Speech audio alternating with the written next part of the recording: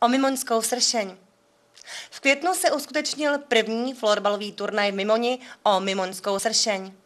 Turnaj pořádal mimoňský florbalový tým Mimonští sršni. Pozváno bylo osm týmů, u kterých se dbalo na jejich vyrovnanost. Čau Ondřej, jsme ve Velké tělocvičně základní školy pod Ralskem, kde se odehrává florbalový turnaj. Jak pak se jmenuje?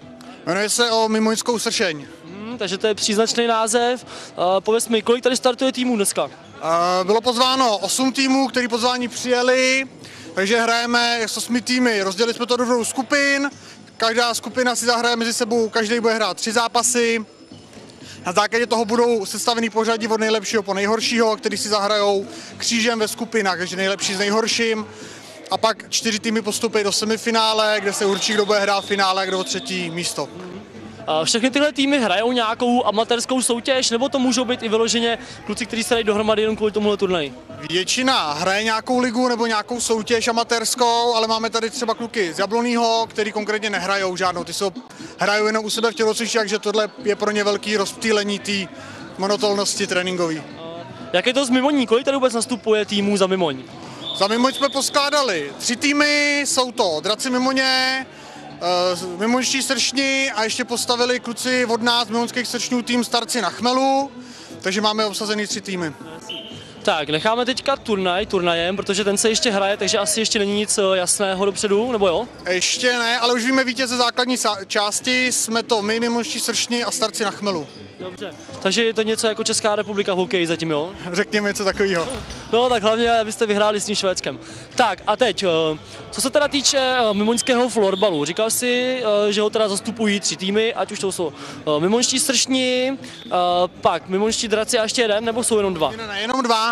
Ten třetí tým... Ty jako pivaři to jsou jenom tady takhle, jasně. Jak si vůbec stojí mimonští sršní a co hrajou za soutěž? Hrajeme regionální amatérskou ligu Mladé Boleslavy, Vedeme si docela dobře, patříme do top pětky, dalo by se říct. Letos se nám trochu nezadařilo, skončili jsme až vysloveně pátý, ale patříme mezi ty lepší týmy. A letošní sezónu Raflu obohatil tým Draku Mimoně, který byli poskládaný většinou jakoby z takových mladších kluků, kteří s náma chodili na trénink, do, eh, doplnili je Jaroslav Rudka a Pavel Carboch a začali hrát letos první sezónu, za se jim zadařilo, postoupili do čtvrtfinále, ve kterém podlehli právě Kopidlnu, který se tady to turné taky účastní. Jak dlouho už hrajou srční eh, tady ten Rafl? Rafl hrajeme šestým rokem, jsme de facto od založení, takže jsme jeden z nejstarších hrajících týmů a letos to bylo poprvé, co jsme se nedostali do playoff, jakoby do, tý, do postupu. Takže uh, naváži, uh, navážeme teda na největší úspěchy sršňů v tom Raflu, to byly? Tak to bylo v první sezóně první místo, potom třikrát druhý, ale oni jsme skončili, nebo čtyřikrát druhý, ale oni jsme skončili třetí. Dá se z tohohle raflu postoupit taky někam vejš, e, posunout se nějakým tom žebříčku ty florbalové úrovně? Nedá, je to jakoby uzavřená liga, ale musím říct, že se hodně zlepšuje, jde dopředu. Spoustu hráčů, kteří skončí v extralize v Mladý Boleslavy, tak právě přicházejí do toho raflu, kde to je volnější, nejsou tak častý tréninky a ta liga opravdu se zvedá zvedá i na hodně vysoký úrovni. A letos, nebo následující sezónu, která se bude hrát, tak bude jakoby rozdělená na tři ligy a bude v ní hrát celkem 28 týmů už je docela solidní. Řekni mi, dojíždíte na ty zápasy někam, nebo se i třeba některé zápasy můžou, můžou uskutečnit e, třeba tady v tělocvičně? Ne, ne, ne, všechny zápasy se odehrávají v Mladé Boleslavi, hraje se na dvou halách, na šesté základní škole a v Sokolovně a na všechny zápasy dojíždíme z pravidla jednou za 14 dní, pak tam je občas výjimka, že jezdíme jakoby každý týden, asi tři zápasy jsou takhle. Proč tomu tak je? Nevyhovuje kapacita haly nebo délka hřiště? Ne, je to z toho z důvodu, jsou stanoveny nějaký stanovy, mají sepsaný smlouvy s těma halama, s těma tělocvičnama a je takhle postavená celá liga, protože hodně týmů je z okolí Malý Boleslavy nebo samostatně z Malý Boleslavy.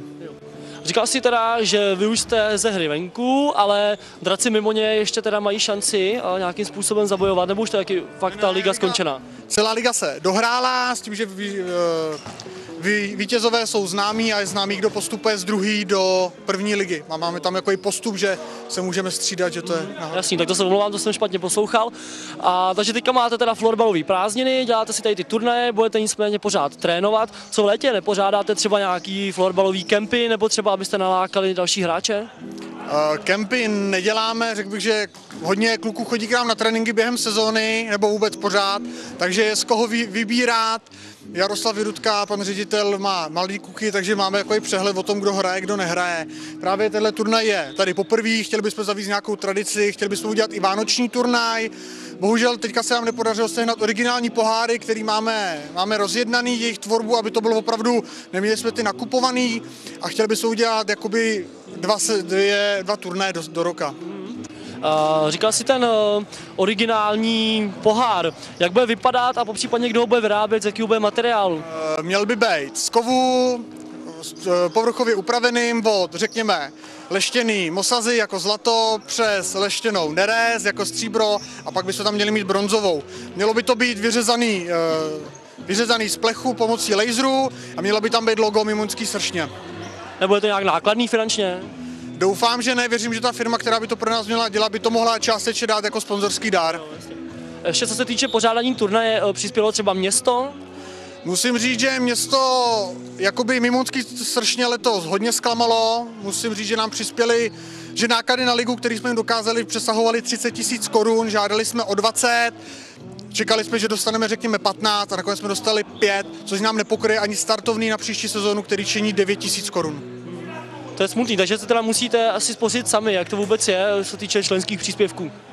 Eh, Členský příspěvky jsem nechtěl, aby jsme překročili hodnotu 1000 korun, protože je tam spousta kluků, kteří hrajou jakoby nebo hrajou, studujou, jsou ještě jako nevýdělečně činný, takže jsme stanovili na 1000 korun a budeme muset ligu, nebo budeme to muset nějak zadotovat. Doufám, že vy- vyděláme tady něco na prodej těch potravin, aby jsme měli něco do kasy.